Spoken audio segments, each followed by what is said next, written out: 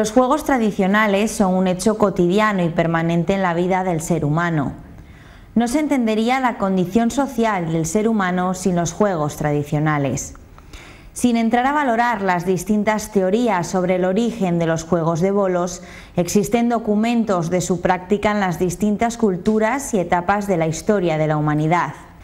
En España, hace 400 años, el libro de los libros, El Quijote de Miguel de Cervantes, ya hacía referencia a ellos.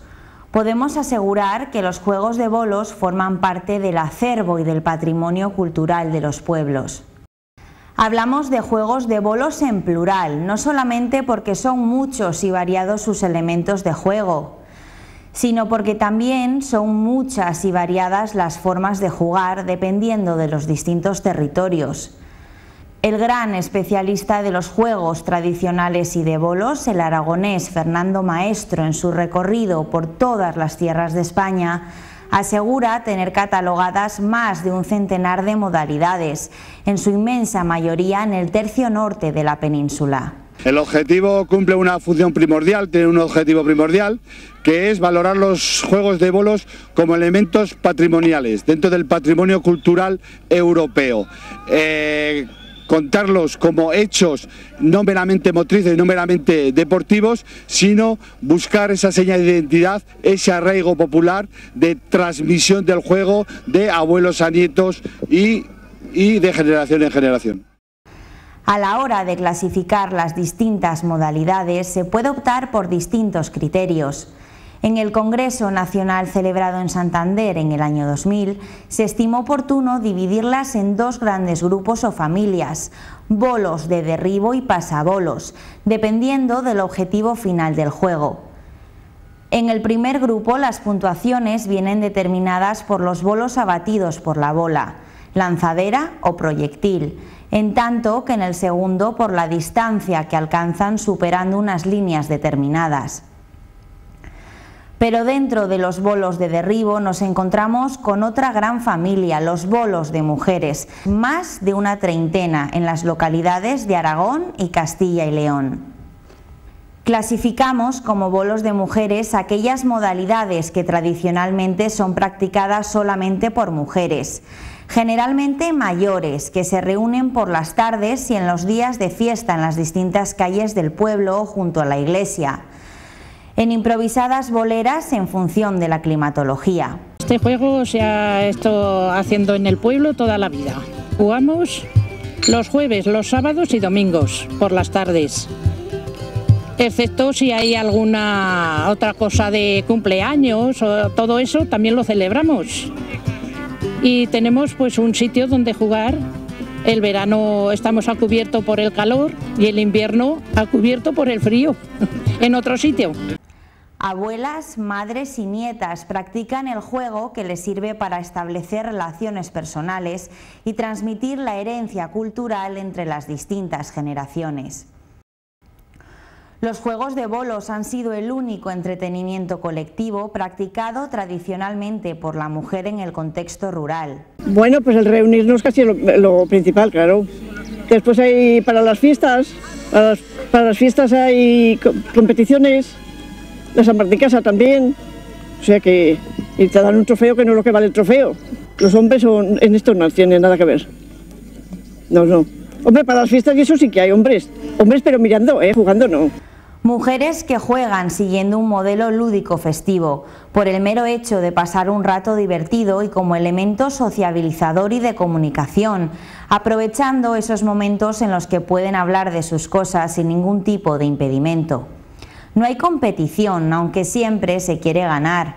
Tienen reglas bastante complicadas para que la partida dure mucho tiempo, ya que a diferencia de los juegos de hombres, es más importante pasar el tiempo que ganar, y si hay apuestas, estas son simbólicas. En estos juegos podemos decir aquello de que más vale maña que fuerza, ya que para su práctica la habilidad, experiencia o ingenio son cualidades más necesarias que la fuerza. Cada modalidad es propia de pequeños territorios, de pequeñas localidades y con muchas diferencias de reglas y elementos de juego, incluso entre localidades muy próximas. Aunque han desaparecido muchas modalidades, aún podemos ver una buena muestra de esos juegos de bolos en Aragón, en el norte de Huesca, Quilles de Benasque y Virllas de Campo, en la comarca de Daroca, Bolos de Used, o en pueblos de Teruel como Monreal de Campo y Fuentes Claras.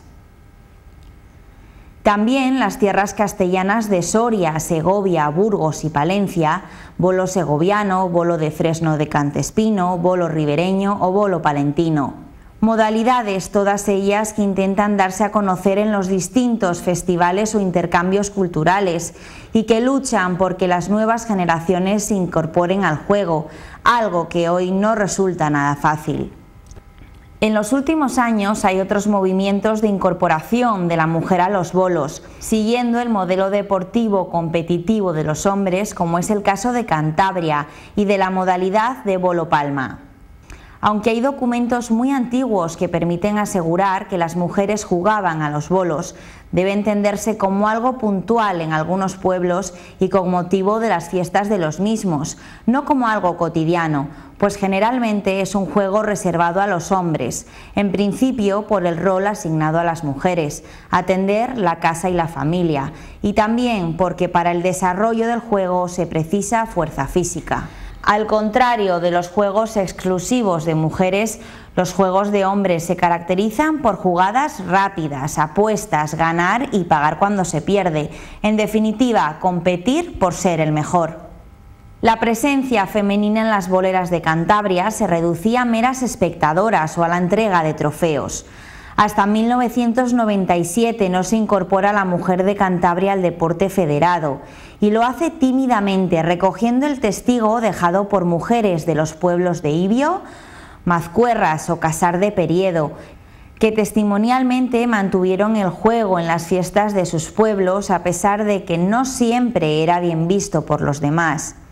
Pues la verdad es que el año pasado no, pero este año como se desarrollaron las cosas, empezaron bien y al final yo creo que va a ser un éxito y el año que viene ya hay una serie de equipos que quieren, que quieren apuntarse también a la liga y creemos que esto puede ir a... Pero ese, la opinión de los demás, no era el único problema, pues además había que mentalizar a las futuras jugadoras de dar el paso de saltar a la bolera y quitar el miedo y los complejos acumulados durante muchos años en los que a las niñas no se les permitió realizar actividades deportivas. De momento es, solo queremos demostrar que podemos jugar a los bolos, que sabemos jugar y que queremos tener un poco de, un poco de sitio en la bolera, pero de momento yo creo que está muy lejos eso.